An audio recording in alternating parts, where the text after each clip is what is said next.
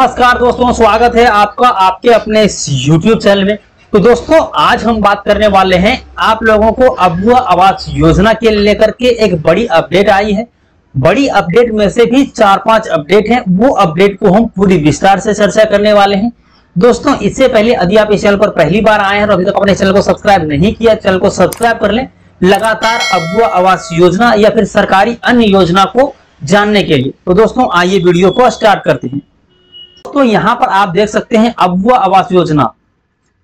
कच्चे घर में रहने वाले हर झारखंडी को पक्का मकान, वह भी रसोई घर युक्त तीन कमरे का मकान। मतलब ये तो आपको पहले से भी पता है कि आप लोगों को जो अबुआ आवास मिलेगा, उसमें तीन कमरे का मकान होगा और साथ ही साथ आप लोगों को रसोई घर जो है उसी में कंबाइंड रहेगा मतलब अलग से नहीं बनानी मतलब साथ ही साथ रसोई घर की भी व्यवस्था उसी में किया गया है। ये हो गई कोई ज़रूरी बातें नहीं। अब ज़रूरी बातों पर हम आते हैं।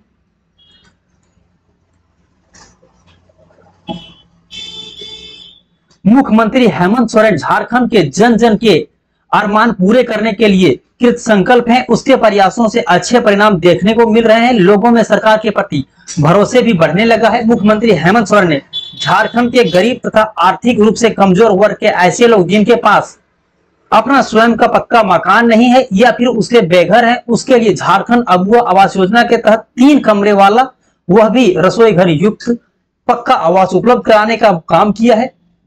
मुख्यमंत्री हेमंत सोरेन ने 15 अगस्त 2023 को झंडोत्तोलन के बाद इसकी घोषणा की थी।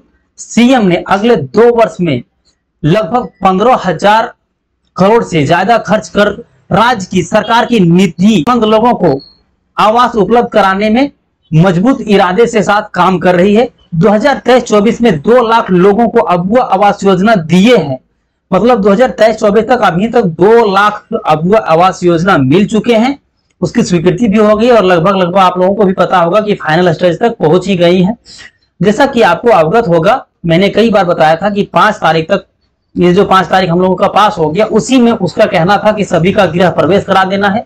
लेकिन ये अलग बात है कि सरकार अपनी अभी इस मुद्दे से भटक रही है और काम आप लोगों को देख सकते हैं कि आप लोगों को अबुआ आवास योजना की तीसरी किस्त नहीं मिल रही है। फिर इसमें यह कहा जा रहा है, दो हज़ार में इस योजना पर राज्य सरकार ने बारह करोड़ रुपए खर्च कर रही है। अबुआ आवास योजना के तहत तीन कमरे के मकान के लिए प्रति आवास राज्य सरकार दो लाख रुपए लाभुकों को दे रही है।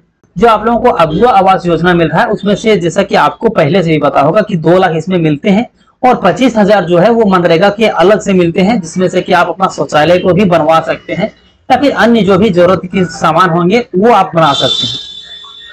यहाँ पर हम एक चीज़ों को देख लेते हैं। वो भी 2025-26 की सरकार की क्या टारगेट है, उसको भी देख ही लेते हैं जब आए हुए तो। हेमंत सरकार 2025-26 में भी अढ़ाई लाख आवास बनाने का लक्ष्य रखा हुआ है। जो कि अभी आप लोगों को संभव नहीं हो सकता है, क्योंकि फिर से इलेक्शन आने वाले हैं। इलेक्शन में अगर जीतते हैं तो फिर उसका काम हो पाएगा, वरना फिर ये जो चीज़ें हैं, वो धरा की धरा रह जाएगा। फ़िलहाल जो हम लोगों को अभी ज़रूरत की बातें हैं, वो अबुआ आवास की जगह तीसरी किस्त मिल जाती तो हम लोगों के लिए ये बड़ी बात होती। लेकिन अभी ये हो नहीं पा रही है। फिर इसमें लिखा गया, वित्तीय वर्ष दो हज़ार में प्रधानमंत्री आवास योजना ग्रामीण केंद्र सरकार ने नए आवासियों की स्वीकृति नहीं दी थी। इसको लेकर राज्य और केंद्र सरकार के बीच में कई बार बातचीत भी हुई थी। राज्य सरकार के बार बार आग्रह के बावजूद भी इन्हें नहीं दिया गया। प्रधानमंत्री आवास योजना के राज्य सरकार की वित्तीय भागीदारी चालीस प्रतिशत होती है। वहीं 2024-25 में साढ़े तीन लाख 2025-26 में अढ़ाई लाख आवास राज्य सरकार को योजना में बनाए जाने का लक्ष्य सरकार ने रखा है। रखा है मतलब ये कि 2025-26 तक आप लोगों को फिर से अढ़ाई लाख मिलने वाले हैं। लेकिन इसका हमको बेनिफिट नज़र नहीं आ रहा है, क्योंकि आप भी जुड़े हुए हैं मेरे से तो आप लोगों को पता होगा कि अभी तक जो तीसरी किस्त कंप्लीट नहीं कर पाए तो आवास कब बनाएगा? टारगेट रख देने से थोड़ी ना होता है। टारगेट का मतलब ये होता है कि आपने जितना टारगेट दे दिया है, फ़िलहाल उसी चीज़ को कंप्लीट करो, फिर आगे की ओर बढ़ो। लेकिन हुआ यूँ है कि तीसरी किस्त कंप्लीट नहीं हुई है और फिर सरकार आपके द्वारा कार्यक्रम में फिर से एक नया आवास के लिस्ट जारी कर दिया है।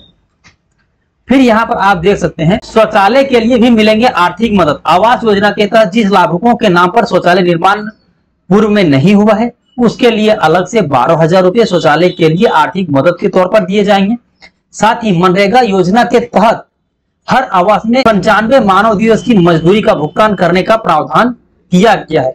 मतलब कुल मिला के आप ये चीज़ें ये भी जान लीजिए कि आप लोगों को पहले से ही दो लाख रुपया आवास के लिए मिलने वाले हैं, बारह हज़ार रुपये आपको शौचालय के लिए मिलने वाले हैं और पच्चीस हज़ार जो मनरेगा के लिए मिलने वाले हैं मतलब कुल मिला के आप इस चीज़ों को देख सकते हैं कि आपको अच्छे खासे रकम देखने को मिल जाएँगे। फिर इस वाले हाईलाइट को हम देख लेते हैं। तो इसमें वैसी कोई बड़ी अपडेट नहीं है। इसमें वही सारी चीज़ें बताया गया कि आपको जो दो लाख रुपए मिलेंगे आवास के लिए, वो किस तरह से मिलेंगे और कितने कितने मिलने वाले जो पुराने लोग हैं तो उनको बेशक पता ही है, जो न्यू लोग हैं, उनको पता नहीं है कि आखिर आप लोगों को जो दो लाख रुपए मिलने वाले हैं, वो किस तरह मिलने वाले तो उसके लिए मैं थोड़ा सा आप लोगों को बता दें। लाभुकों को चार किस्त मिलेंगे अब वो आवास योजना स्वीकृति मिलते हैं, पहली किस्त जो है आप लोगों को तीस हज़ार रुपये मिलने वाले हैं। फिर इसकी दूसरी किस्त के रूप में आपको पचास हज़ार रुपये मिलने वाले फिर तीसरी किस्त के लिए आप लोगों को एक लाख रुपए मिलने और चौथी किस्त फाइनल में आप लोगों को बीस हज़ार रुपये दिए जाते हैं। तो ये रहा टोटल आप लोगों को कि चार किस्त में किस तरह से मिलने वाले हैं, वो भी चीज़ें आपने जान लिया अब यहाँ पर आप एक चीज़ों को ये भी देख सकते हैं कि आप लोगों को 2023-24 में आवास की स्वीकृति हुई थी। वो कौन सा डिस्ट्रिक्ट को कितना मिला हुआ है? तो खूटी को देख सकते हैं, तीन हज़ार आठ सौ सतासी है। पूर्वी सिंहभूम को आप देख सकते हैं, आठ हज़ार एक सौ अड़तीस है। फिर वहीं पर आप पलामू को देख सकते हैं, तेरह आया हुआ है। गढ़वा को भी देख सकते हैं, बहुत सारा आया हुआ है। उसी तरह फ़िलहाल हम एक लास्ट देख लेते हैं अपने गिरिडीह डिस्ट्रिक्ट को। तो गिरिडीह डिस्ट्रिक्ट में आप देख सकते हैं, सत्रह हज़ार आठ सौ साठ आए हुए हैं। ठीक ना? कुल मिलाकर के आप देख सकते हैं, कुल मिलाकर आप देख सकते हैं कि दो लाख जो अगुआ आवास आया था दो हज़ार तेईस चौबीस में वो आपके सामने ये आंकड़ा रहता है जिसका आप स्क्रीन शॉट भी ले करके आप आराम से या फिर वीडियो को पॉज करके आप इसे अच्छी तरह से लिस्ट को अपना चेक कर पाएँगे। आप जिस भी डिस्ट्रिक्ट से होंगे, वहाँ की आप लिस्ट को चेक कर पाएँगे। आठ लाख आवासों का निर्माण प्रक्रिया में वित्तीय वर्ष 2022-23 में झारखंड सरकार ने दो लाख आवास का निर्माण लक्ष्य रखा है।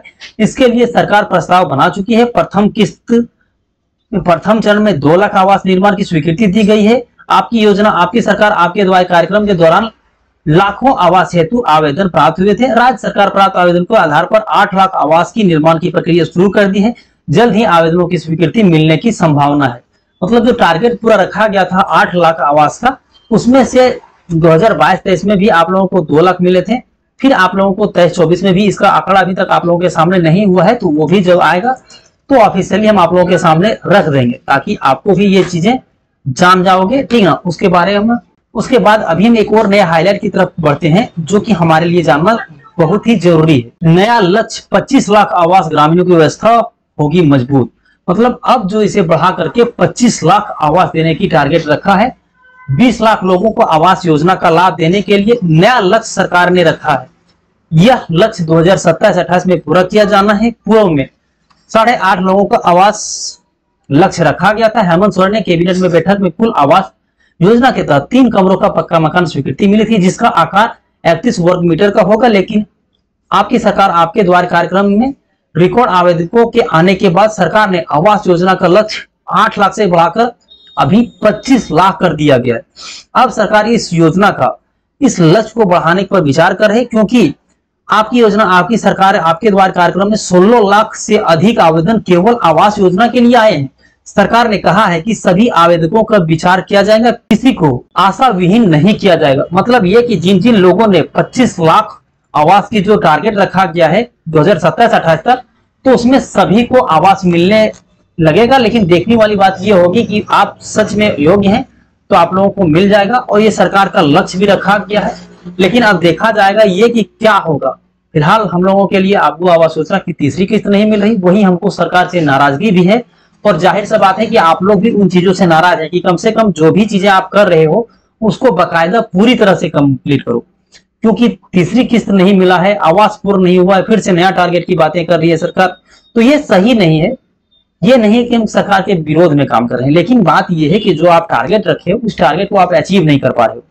तो दोस्तों, हमारे पास यही सारी जानकारी थी जो कि मैंने आपके साथ साझा किया। उम्मीद करते हैं ये वीडियो आपके लिए यूजफुल साबित हुआ अगर यूजफुल साबित होता है ना तो चैनल को सब्सक्राइब करके रख लें ताकि जो भी लेटेस्ट अपडेट होंगे, वो हम आप तक सबसे पहले पहुँचा सकें। तो दोस्तों, आज के लिए इतना ही। फिर मिलते हैं अन्य किसी वीडियो में। तब तक के लिए जय हिंद। आपका दिन शुभ